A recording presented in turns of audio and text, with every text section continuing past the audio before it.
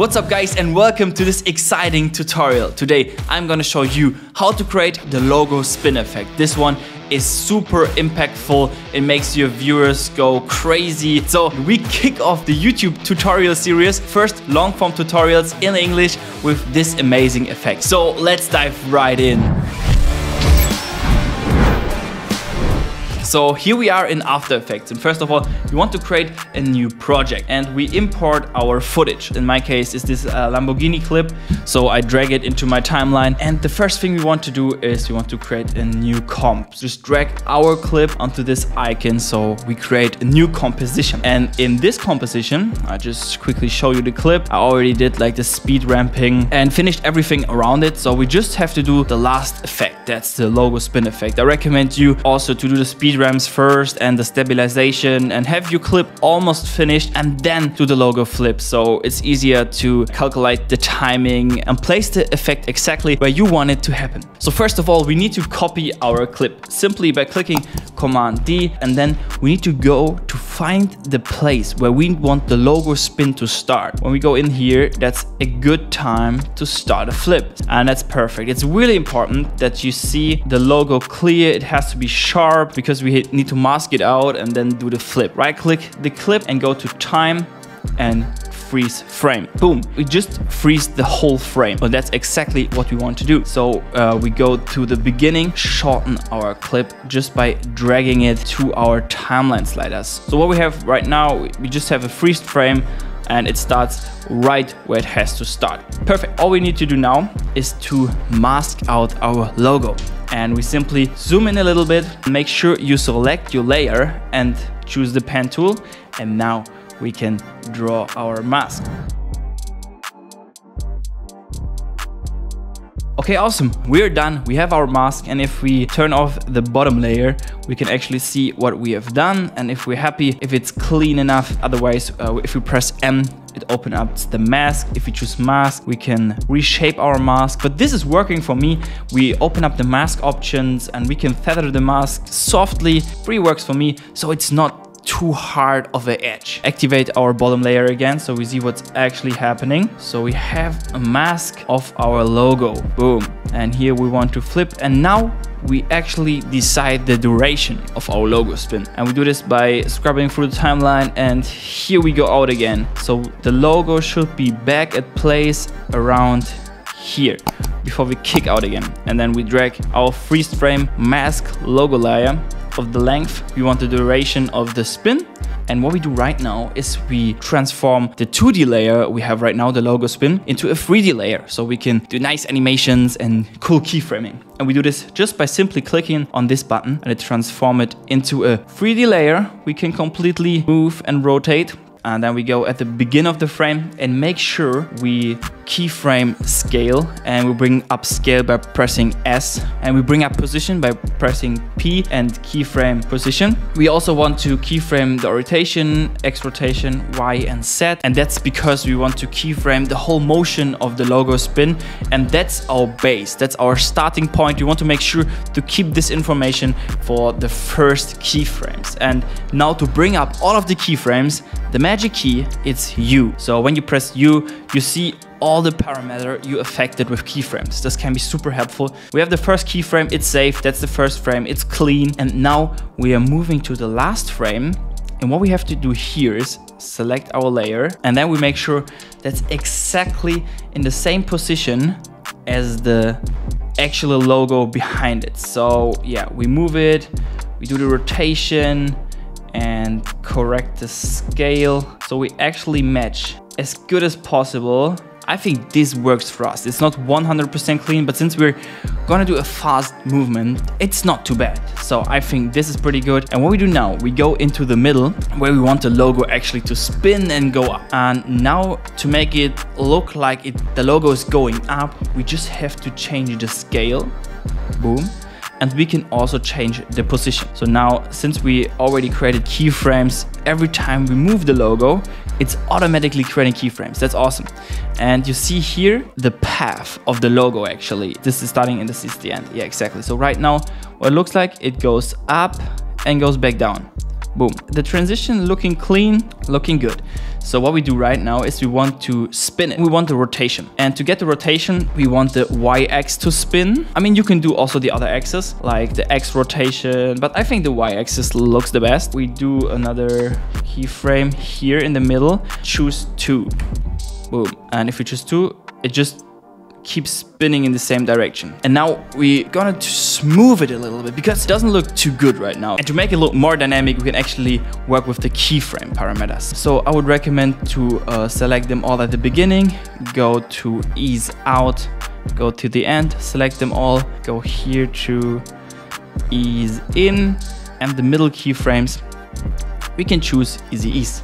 And what we've done, if we click on the graph here, you see now we have really, really smooth, smooth keyframes. And even if you want to smooth them more, you just uh, select the parameters and with the, with the yellow dot here, you can uh, move the curves so it gets faster. And I really like if there is a fast motion in the middle and it slowly comes back down. So that's where, that's where the graphic and the effect actually comes to life in my mind. So try just to copy this this graph, like these ramps. And we have a look now. Boom. You see the difference? That's crazy, right? Awesome. So when we are here, we want to cut the clip again. So the clip's actually ending. So right now this animation already looks good.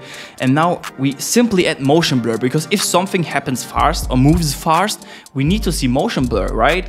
And that's pretty simple in After Effects. That's why I love to work here. You just have to activate motion blur here and you make sure that's already selected in the composition. And there you see the difference it moves up and it moves down and it has natural motion blur. That's amazing. I love this feature. And now we create the clean plate. So when the logo goes up, we want to see a clean, clean background here. So the logo is actually missing and goes back in place.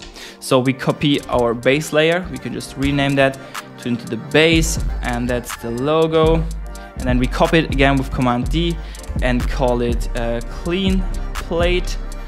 And with the clean plate layer selected, you just want to uh, draw a mask again where the transition starts. So we turn off the logo flip layer we created here and we turn off the base layer. We just have the base layer in case we need to choose again the pen tool up here or just use G. Then what we want to do is draw a rough mask around the logo. Bring up the mask with M and choose subtract mode here and right now it's black that's perfect it's exactly what we want to do and then choose the mask path to keyframe so just press the stopwatch here to create keyframes for your mask and then you go through the clip and make sure the mask is always covering the logo completely. That's really important. So yeah, correct the mask. If you see the logo at some point, yeah, make sure it's always covered. What you want to do now is go to Windows and bring up the content aware fill window. And then you can actually choose edge blend. That's really important. You have the work area and now you can just click generate fill layer. So start from the beginning, generate fill layer. And now After Effects actually creates some PNG layers and we won't see the logo in this particular time. And that's amazing. So pretty simple to get rid of the logo. So wait till the rendering is done. Boom, rendering is done. We have our fill layer right here and is looking good. Nice. Uh, one thing to smooth out things even more is to drag out the fill layer down below your mask layer and then go to the mask options and feather the mask around 5 and scale up the fill PNG sequence here a little bit. I found this is really helpful to get even cleaner results. Let's have a look.